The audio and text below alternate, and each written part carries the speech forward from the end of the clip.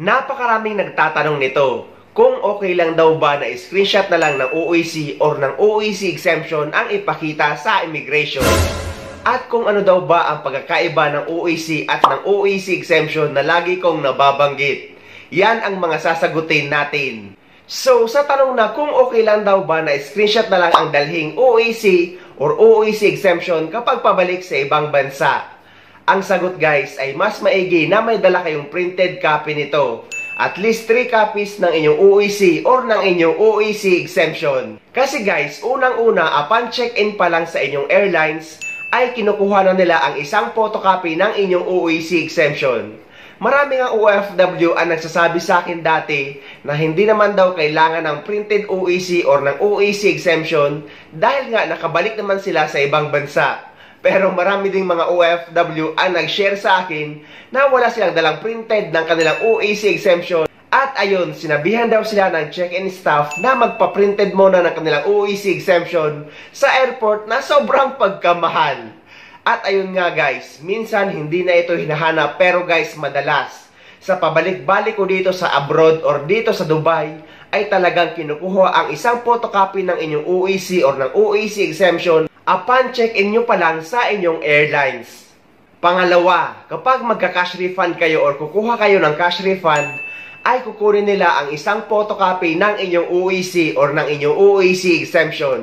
Hindi kayo mabibigyan guys ng cash refund kapag hindi kayo nagbigay or wala kayong kopya ng inyong OEC or ng inyong OEC exemption. Sa mga magtatanong naman kung paano daw kumuha ng cash refund, ang sagot guys ay tanongin nyo ang check-in staff nyo kapag mag-check-in na kayo. Pangatlo, though inaalaw naman sa immigration ang screenshot ng OEC or ng OEC exemption, dahil ang importante dito ay makita nila ang buong information at ang OEC number nyo. Pero guys, minsan ay nahanap ito or madalas na hinahanap ito lalo na kung maliit ang pagkaka-screenshot nyo at malabo. Sa kanila tatatakan ang inyong passport kapag meron na kayong copy ng inyong OEC exemption at malinaw ito. At ang risky dito guys or ang risk nito kapag screenshot lang ang dala nyo, what if mawala yung cellphone nyo or bigla kayong malowbat? So ano daw ba ang pagkakaiba ng OEC at ng OEC exemption? Actually guys, pareho lang ang function nila at pati ang itsura ngayon. Dahil noon, kapag OEC exemption ay yung OEC number lang ang kailangan mong i-screenshot. Pero ngayon, ay pareho na ang itsura ng OEC at ng OEC exemption.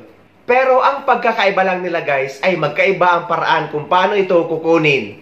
Dahil ang OEC guys ay para sa mga OFW or sa mga first time OFW na pupunta sa ibang bansa. O kaya naman yung mga OFW na galing sa visit visa or mga nag-change employer, nag-change job site, nag-change position, nag-change company name kahit pareho pa rin ang owner. At yung mga OFW na nag-change ng marital status from single to married na babae.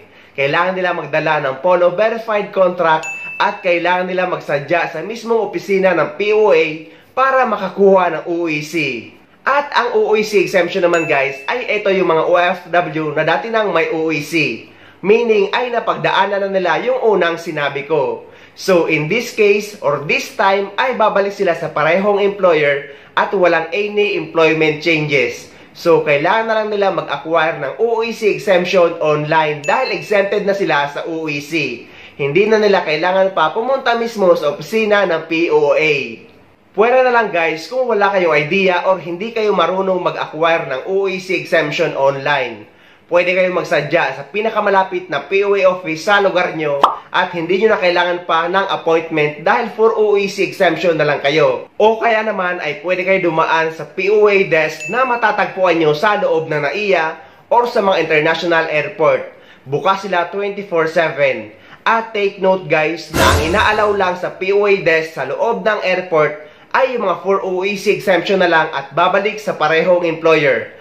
Meaning guys, yung mga dating OFW na nagkaroon na ng OEC at babalik under the same employer. Hindi pwede dito yung mga OFW na may mga employment changes na may dalang Polo Verified Contract.